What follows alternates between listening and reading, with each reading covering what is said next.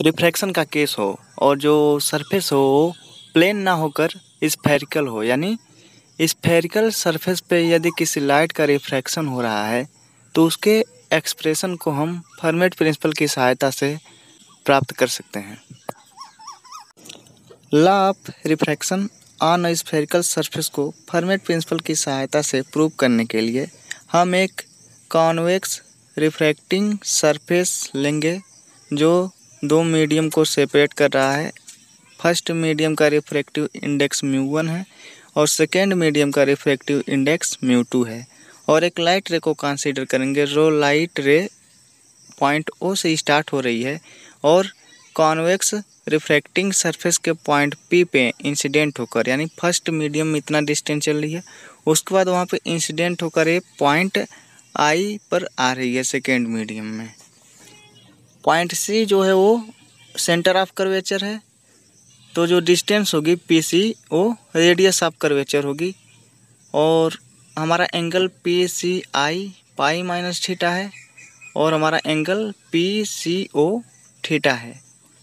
ओ से एम तक के डिस्टेंस को यू सपोज़ करेंगे और फिर एम से आई तक के डिस्टेंस को वी सपोज़ करेंगे। अब हम इसका ऑप्टिकल पाथ निकालेंगे। कि लाइट का ऑप्टिकल पाथ कितना है? पॉइंट ओ से स्टार्ट हो रही है लाइट और आई पे पहुँच रही है। तो पॉइंट ओ से आई के बीच का ऑप्टिकल पाथ तो O P distance O first medium में चल रही है, जिसका रिफ्लेक्टिव इंडेक्स म्यू वन है, और P I distance second medium में चल रही है, जिसका रिफ्लेक्टिव इंडेक्स म्यू टू है। तो इसका optical path length between point O and I हो जाएगा। Mu one O P plus mu two P I.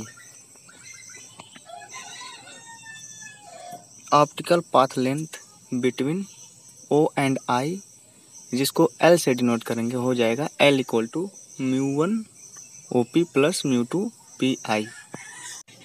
यहाँ पे हमें ना तो ओ पी की वैल्यू पता है, ना पी आई की वैल्यू पता है।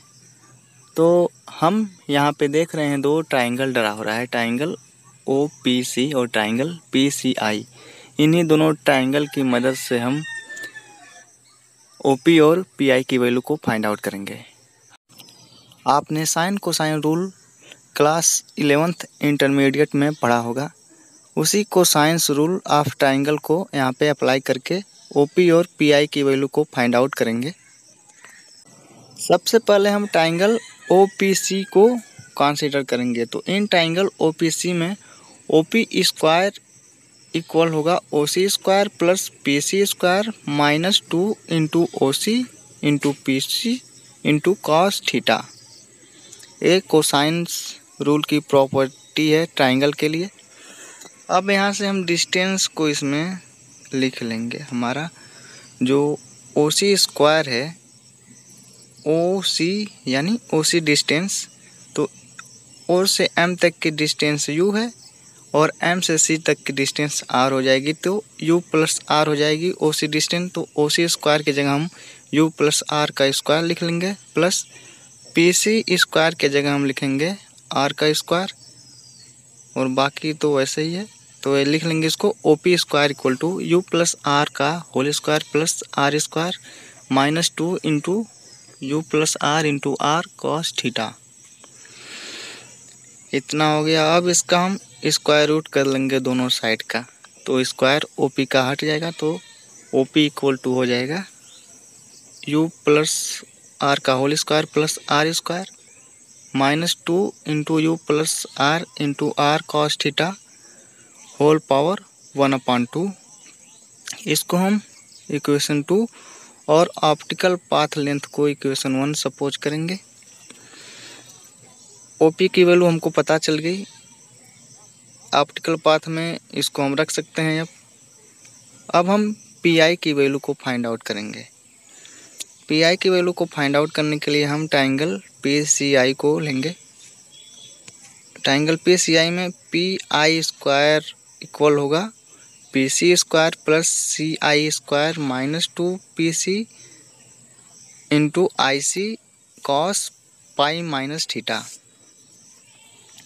अब पी सी स्क्वायर की वैल्यू आर स्क्वायर हो जाएगी प्लस सी आई स्क्वायर की जगह हम वी माइनस आर का होल स्क्वायर लिखेंगे, और minus two R into V minus R into cos pi minus theta इतना हो जाएगा। अब cos pi minus theta minus cos theta होता है तो यहाँ पे इसको लिखेंगे तो हो जाएगा P I square equal to R square plus B minus R का whole square plus two R into V minus R cos theta यहाँ पे minus two R V minus R cos pi minus theta हो जाएगा plus two R into V minus R cos theta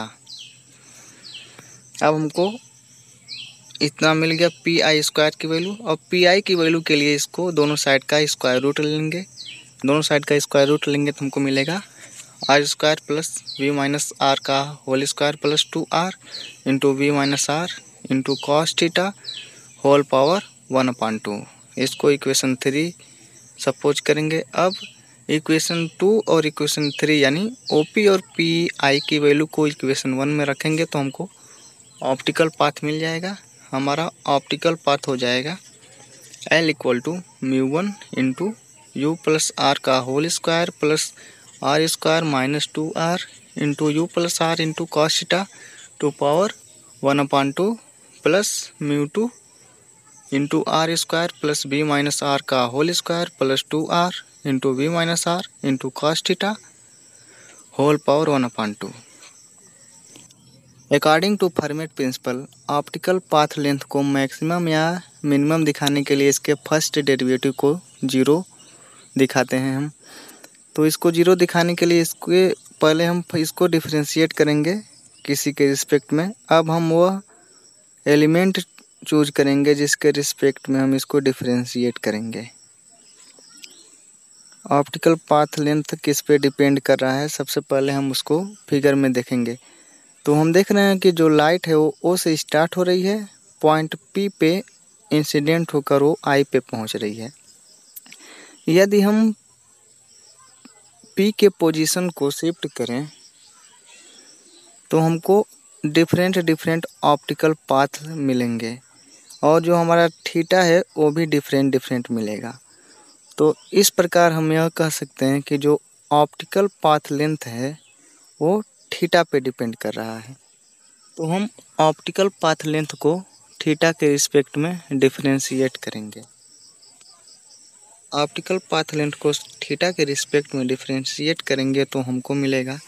D L upon D theta equal to mu one into two R into U plus R into sine theta upon two into U plus R का whole square plus R square minus two R into U plus R into cos theta का power half minus mu two into two R into V minus R into sine theta upon two into R square plus V minus R का whole square plus two R into V minus R into cos theta whole power one upon two अब D L upon D theta को zero करेंगे तो हमको मिलेगा।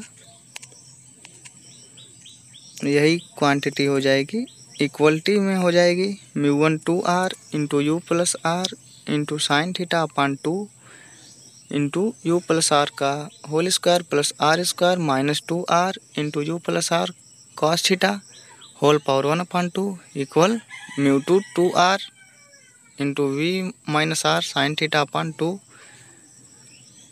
into R square plus v minus R का whole square plus two R into v minus R cos theta whole upon whole to power one upon two अब जो जो similar term है, उनको हम कैंसिल कर देंगे। टू आर से टू आर कैंसिल हो जाएगा और साइन थीटा कैंसिल हो जाएगा और नीचे टू से टू कैंसिल हो जाएगा। तो हमको मिलेगा mu one u plus R upon u plus R का whole square plus R square minus two R into u plus R cos theta whole power one upon two L H S में और R H S में मिलेगा mu two into v minus R whole upon R square plus v minus R का whole square plus two R into v minus R cos theta whole upon one upon two for small theta cos theta equal to one होगा। या near about one होगा तो इसलिए हमारा हो जाएगा mu one into u plus R upon u plus R का whole square plus R square minus two R into u plus R whole power one upon two simply cos theta की जगह हमने वन रख लिया है और R H S में हो जाएगा mu two into v minus R upon R square plus v minus R का whole square plus two R into v minus R whole power one upon two अब इसको नीचे वाले क्वांटिटी को break करके सॉल्व करेंगे तो हमको इतना मिलेगा। अब नीचे देख रहे हैं हम एलएचएस में u square plus R square plus two u R plus R square minus two u R minus two R square है। तो R square plus R square मिल के प्लस टू आर स्क्वायर हो जाएगा और माइनस टू आर स्क्वायर से cancel हो जाएगा। Plus two you are और minus two u R cancel हो जाएगा, हमको नीचे मिलेगा यू स्क्वायर का पावर वन अपान टू और आर एच एस में नीचे हमको मिलेगा R square plus v square plus R square minus two v R plus two v R minus two R square whole power half तो यहाँ से भी वैसे ही सब कैंसिल हो जाएगा, बचेगा केवल वी स्क्वायर का पावर वन अपान टू अब इसको हम सॉल्व करेंगे तो हमको मिलेगा mu one into u plus R upon u equal to mu two v minus R upon v अब हम इसको एडजस्ट करेंगे इस तरह से. Mu one into one plus R upon u equal to mu two into one minus R upon v अब इसको ऐसे लिख लेंगे. Mu one plus mu one R upon u equal to mu two minus mu two R upon v अब इसको are वाले term को एक तरफ़ करेंगे एल एच एस में, और म्यू वाले टर्म को एक तरफ़ कर लेंगे तो हमको मिलेगा mu one R upon u plus mu two R upon v equal to mu two minus mu one अब इसमें से आर को कॉमन कर लेंगे। आर कॉमन किया हमने। Mu one upon u plus mu two upon v into R equal to mu two minus mu one और are को राइट हैंड साइड में ले जाएँगे तो ये डिनोमिनेटर में चला जाएगा। Mu two upon v plus mu one upon u equal to हो जाएगा। Mu two minus mu one upon R. और यह हमारा law of refraction on spherical surface के एक्सप्रेशन को डिनोट कर रहा है। Mu two upon v plus mu one upon u equal to mu two minus mu one upon R. यदि एक जो मीडियम हो, म्यू वन मीडियम एयर या वैक्यूम है तो यही हमारा फार्मूला हो जाएगा। Mu two upon v plus one upon u equal to mu two minus one upon R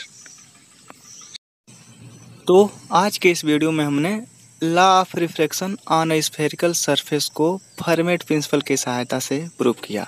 I hope कि ये वीडियो आपके लिए हेल्पफुल रहा होगा। मिलेंगे अगले वीडियो में किसी नए टॉपिक के साथ। तब तक के लिए धन्यवाद। और हाँ यदि आप हमारे चैनल पर नए हैं तो इस वीडियो को लाइक करें और चैनल को सब्सक्राइब करें। नए वीडियो में जल्द मुलाकात होगी।